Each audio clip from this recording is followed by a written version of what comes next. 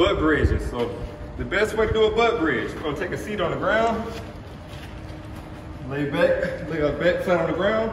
You wanna keep your knees over your ankles.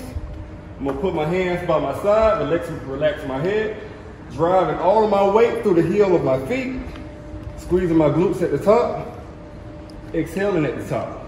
So the top of that squeeze, I'm blowing out. Feeling my hamstring squeeze, feeling those glute squeeze, keeping my palms flat on the ground. At the top of that squeeze, as soon as I complete my squeeze, I might hold it for like a half a second. Then I'm lowering my body down and going right back into it. Minimizing my rest time, focusing on my form. Remember form over everything. Butt bridge.